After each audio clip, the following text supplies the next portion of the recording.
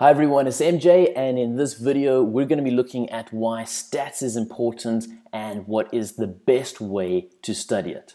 But before we do that, we need to ask ourselves a question. What exactly is statistics? Now, if you're thinking about, you know, all those weird and wonderful graphs and this really long definition, then you're wrong. Okay, technically you're not wrong, but you are being inefficient because what stats is it's simply this it's taking data and finding information. Now, why is that important? Well, if we look at the Enlightenment pyramid, we see that we have data at the bottom, we then have some information, we then have knowledge, and then we have wisdom. In order to get from data to information, we need to process it through statistics. And then, yeah, to get from information to knowledge, we need to give it meaning. To get from knowledge to wisdom, we need judgment. But statistics is only dealing with data to information. But let me give a quick little example. Let's say we get the following data. We use our stats magic and we see that this is coming from a uniform distribution between the numbers of 1 and 6. We're kind of thinking about it as a dice with equal chance. And let's say we have a question which says, What is the price one should pay if you're going to get $75 for guessing the correct number? You can use your knowledge, you can figure out that that is 12.5. Wisdom would be asking a question like, should you be gambling in the first place? But stats, we want that information. So let's actually look at it. The information that we need is the parameter and the distribution. Once we know that, we can start acquiring knowledge. But in order to get that information, we need to study the data. But let's look at data. You know, what, what truths about reality can we extract from data? Well, we can extract three. The first one is that variation is everywhere. I mean, you just have to go outside and look at the butterflies. If you, you know, here in Africa with me, you'll see all the giraffes or, or all the crypto kitties. You will see that variation exists. Now, truth number two is that if you can understand this variation, then you hold the key to success. And the third truth is that everything is connected. Now, Leonardo da Vinci said that, religion says that, and even Dirk Gently says that. If, if you don't know why there's a little kitten turning into a shark, it's because you haven't watched this amazing show. Anyway, back to statistics. So, variation is like variance, and that's one of the things that we study. Connection is like correlation. Again, it's something else that we study. Correlation is, is quite important, especially when it comes to investments, because if you understand this, you can own financial markets. So, there, we've answered the question what is stats? It's taking data, it's getting some information. But now you're probably wondering, you know, well, what's, what's the point of stats? You know, where, where will we use it? Well, you know this thing called science. Stats is the backbone of science. In fact, stats is the backbone of all the major professions. Whether you want to become an actuary, whether you're going into genetics, whether you're an engineer, whether you're a sports manager, whether you're in marketing, or even if you're going into computer programming, in all of these situations, you're trying to get information from data and you're going to be using stats. Now, these truths that we looked at We've actually known them for a long time. Since, since the dawn of time, cavemen, I think, have known these truths. Where it's getting confusing is the fact that we have so many different words to try and describe this whole randomness. But I mean, even if we look to the Holy Bible, we'll come across verses like this that say, The race is not to the swift, nor the battle to the strong, nor bread to the wise, nor riches to the intelligent nor favor to those with knowledge, but time and chance happen to them all. Now, it's interesting that the Bible talks about time and chance because when you combine these two things together, you get something called the stochastic process, which is very advanced but very, very powerful, and you can control the universe if you know stochastic processes.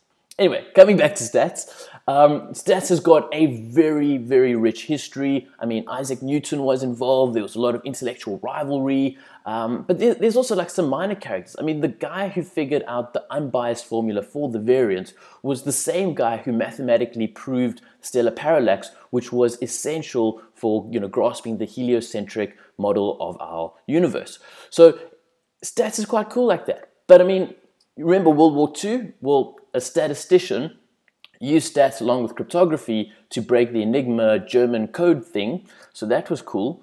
Um, you know, food, everybody loves their food. Another statistician, Ronald Fisher, would use a test in order to devise the best method of getting the greatest yield. So the next time you're hungry, you know, maybe think of that guy. Um, if you've ever been sick, you've probably taken some drugs, but in order for those drugs to be, you know, accepted, uh, they have to go through a statistical testing. So stats I mean, um, maybe maybe the best way to sum stats up is that stats is life, and that's why I thought it would be a great idea to create an online school that is all about statistics. Now you're probably thinking, especially if this is like the first video uh, that you're watching of mine, you're probably saying, "Who, who are you? You know, who's this guy who's talking here?" So online, I'm known as MJ, the student actuary. I've got my little YouTube channel. I've spent the past eight years passing all of the actuarial exams, specializing in finance and banking and doing my fellowship in investments. I've uh, got a major in mathematical statistics from university. I've written on artificial intelligence and journals of science. And I'm on level 212 of Candy Crush. Yeah, yeah, so I'm pretty cool. But what I'm really interested in is understanding learning. You know, how do we study? How do we acquire information and all of these things? And, and I gave a TED talk about it uh, back when my hair was quite, uh, quite long. But what it was doing is I was looking at, you know, a lot of the cognitive psychology and trying to blend this in with stats and trying to say, you know, what actually is the best way to study this subject. And the good news is, is that we have actually already started because step one in learning a new subject is to ask yourself, why is this important? Because then I can take that information and we can turn it into knowledge by giving it meaning. And as we see, stats has helped end wars, it feeds the, the population, it creates drugs for us to cure diseases, it can get us our dream job. So stats is important. The next question, you know, what does it do? Well, we've also gone in depth about that. It stats takes data and gives us information. The next question is to ask, what is it part of? And this comes back to that truth number three. You know, everything is connected. So where does stats come into things? And there we showed it. I mean, every major field of study that uses empirical evidence needs to rely on stats, whether it's science, finance, medicine, all of this stuff does depend on stats.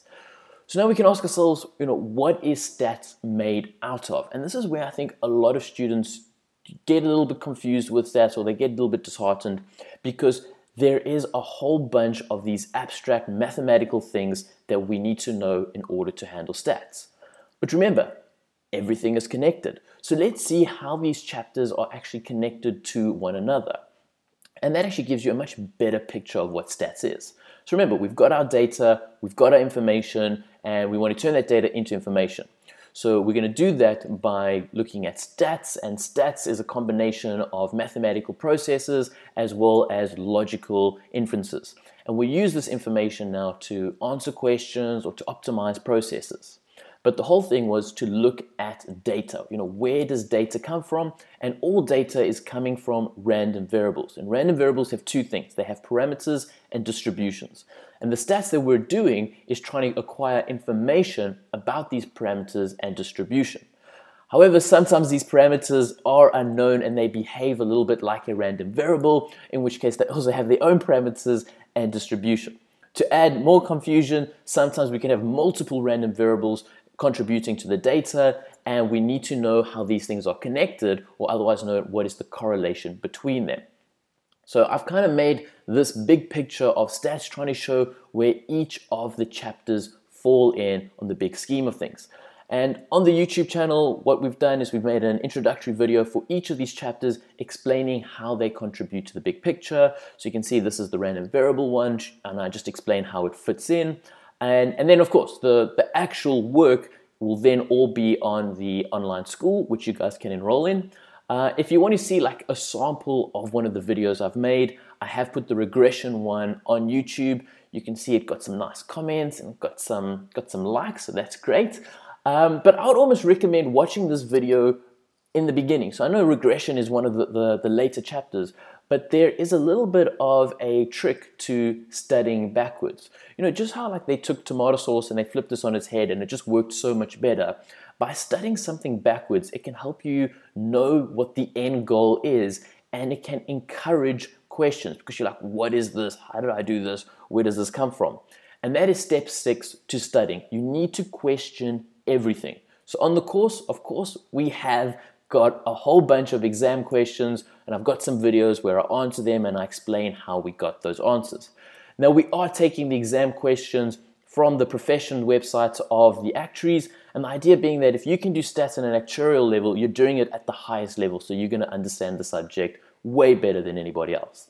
And then of course, step seven is to keep practicing as you know, as we all say, practice makes perfect. So check out the online school and I mean, congratulations for making it this far into the video.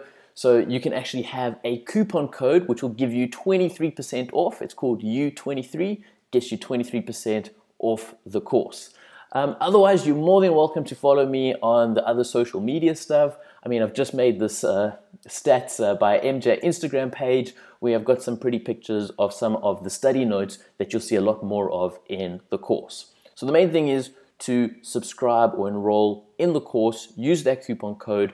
And yeah, if this is a success, if this is a success, then in the same course, we're going to start adding additional content on that stochastic processes, on Markov chains, survival models, game theory, loss distribution. We're going to keep adding that at no additional cost. So if this works, expect amazing things. But anyway, that is Stats by MJ, and yeah, go now and enroll. Thanks for watching, guys. Cheers.